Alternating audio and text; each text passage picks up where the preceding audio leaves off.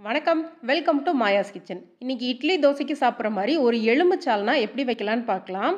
இங்கே எலும்பு பார்த்தீங்கன்னா அரை கிலோ க்ளீன் பண்ணி வச்சுருக்கேன். இதோடவே கொஞ்சம் கொழுப்பும் இருக்குது. இதுக்கு தேவையான மசாலா ரெடி பண்ணிடலாம். கடாயில் ரெண்டு டீஸ்பூன் எண்ணெய் சேர்த்துக்கோங்க.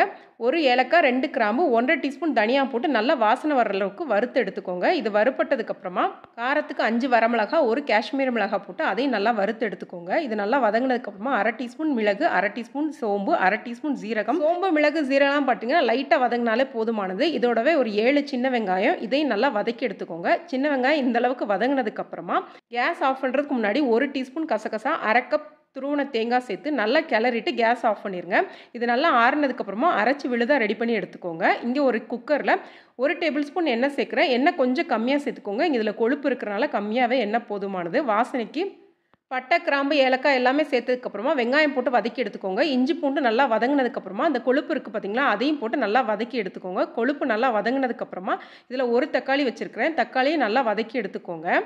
இதோடவே பார்த்திங்கன்னா கறியும் போட்டு நல்லா வதக்கி எடுத்துக்கோங்க. இதுக்கு தேவையான அளவு மஞ்சள் தூளும் உப்பும் சேர்த்து வதக்கி எடுத்துக்கோங்க. எப்போவுமே கறியிலேருந்து தண்ணி வெளியேறும். இந்த தண்ணியெல்லாம் வத்தினதுக்கப்புறமா நீங்கள் மசாலா சேர்த்துக்கோங்க. அப்போ தான் வந்து கறியில் வந்து கவுச்சி ஸ்மெல் இல்லாமல் இருக்கும். தண்ணியெல்லாம் வற்றி நல்லா ட்ரை ஆனதுக்கப்புறமா அரைச்சி வச்ச விழுதும் கொஞ்சமாக தண்ணி சேர்த்துக்கோங்க. இது ஒரு ரெண்டுலேருந்து மூணு நிமிஷம் கொதிக்க வச்சதுக்கப்புறமா ரெண்டு கப் தண்ணி சேர்க்குறேன். தண்ணி சேர்த்துட்டு தேவையான அளவு உப்பு சேர்த்துக்கோங்க. இது நல்லா கொதித்து வரும்போது குக்கரை மூடிட்டு ஒரு அஞ்சு விசிலும் சிம்மில் ஒரு பத்து நிமிஷம் வச்சுட்டு கேஸ் ஆஃப் பண்ணிடுங்க. கேஸ் ஆஃப் பண்ணி ஒரு பதினஞ்சு நிமிஷம் ஆனதுக்கப்புறமா சாப்பிட்றதுக்கு சால்னா சூப்பராக தயாராகிருச்சு ஞாயிற்றுக்கிழமை காலையில் சுட சுட இட்லியோட யாருக்கெல்லாம் இந்த மாதிரி எலும்பு சால்னா சாப்பிட்றதுக்கு பிடிக்கும்னு கமெண்ட் பண்ணுங்கள் அதே மாதிரி யார் வீட்டிலலாம் நல்லி எலும்புக்கு இன்னும் சண்டை நடக்குதுன்னு கமெண்ட் பண்ணுங்கள் வீடியோ பிடிச்சிருந்துச்சுன்னா லைக் பண்ணுங்கள் ஷேர் பண்ணுங்கள் சேனலை சப்ஸ்கிரைப் பண்ணிக்கோங்க. நன்றி வணக்கம்.